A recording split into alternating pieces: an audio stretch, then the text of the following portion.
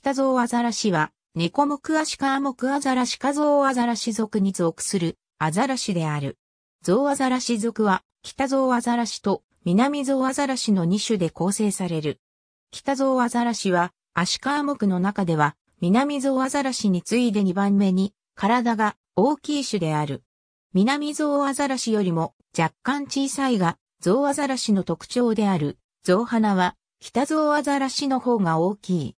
オスの体長は平均3.8メートルであり、メスの平均である2.5メートルよりもかなり大きく、体の大きさに関する私有感の差が非常に大きい。体重は、オスが平均 1800kg、メスは平均 650kg。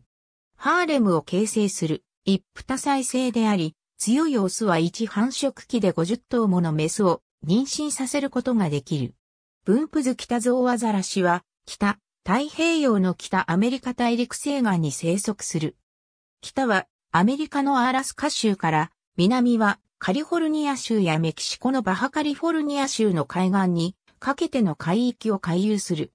出産、育児、飼え毛は主にカリフォルニア沖の島々で行う。カリフォルニアの湾岸では多くの営草地が観察されており、カリフォルニア湾では近年は増加が見られる。かつて本種が北西太平洋やアジア圏に生息していたかは不明である。カムチャッカ半島沖にあるコマンドルスキー諸島では2000年代に数個体によって定着が試みられた現地のトドによって防止されたとみられる。日本では1989年に伊豆諸島の新島でオスが2001年に立山市の狭間付近で幼体が確認されたことがある。2017年10月16日には山形県の海岸で一匹が見つかり、鶴岡市立鴨水族館に保護された。集団での生息地から遠い日本での放流は不適切と判断した同水族館が2018年3月17日から一般公開している。19世紀には体脂肪から油を取るための商業的なアザラシ漁が行われ、北ゾウアザラシは絶滅近くにまで減少した。当時の個体数は100頭から1000頭であったと考えられている。20世紀に入る頃、メキシコのグアダルーペ島において群生繁殖地が残っていることが分かり、メキシコ政府による保護が始まった。20世紀初頭よりメキシコとアメリカの両国において法律的に保護されるようになり、現在では個体数は10万頭以上にまで回復してきた。カリフォルニアでは年率25%で個体数が増加し、新しい営草地が確立されている。しかしながら、病気や毒物の汚染による絶滅の危険性は依然として存在している。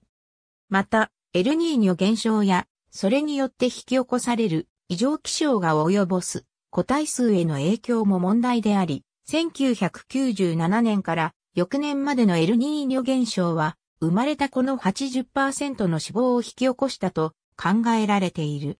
戦う北ゾウアザラシのオスコロニー、米国カリフォルニア州北ゾウアザラシは、主にイカやタコなどの頭足類や、ヌタウナギ、小さなサメなどの魚類を食べる。長時間の潜水で知られ、多くは深海において餌を取る。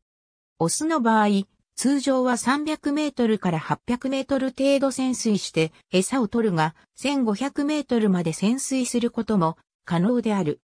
メスの場合には体が小さいこともあって、オスほどは深くまでは潜水しない。オスの平均潜水時間は20分程度であるが、息継ぎに必要な時間は3分程度に過ぎない。長い場合には最長2時間程度の潜水も可能である。北ゾウアザラシの特に若い個体は、ホホジロザメによって捕食される。時にはシャチによって捕食されることもあるが、オスの成獣に限っては、その巨体ゆえに襲われにくい。夏季には、非常に派手に、生え毛し、多くの体毛が抜けてしまう。生え毛の間は、新しい毛が生えてくるまで、体温を保つために、海岸で過ごす。この期間には、多くの北ゾウアザラシをカリフォルニアの保護区域、ポイントレース国立保養海岸などで見ることができる。しかしながら、北ゾウアザラシを観察するためには、許可が必要である。というのは、見かけによらず北ゾウアザラシは、陸上では人間が走るよりも速く走ることが可能であるからである。北ゾウアザラシに追突されるのは、乗用車に惹かれるのと同じくらい危険であることが知られている。Mirounga angustirostris、Northern Elephant Seal、North American Mammals、Smithsonian Institution、2007年2月3日、閲覧。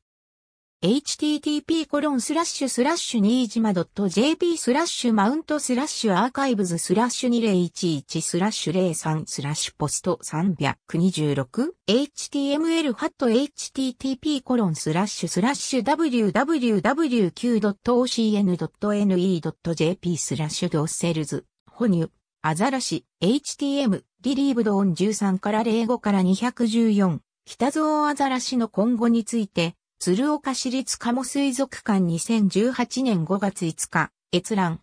保護した北ゾアザラシを公開鴨水族館、朝日新聞長官2018年3月18日2018年5月5日、閲覧。ありがとうございます。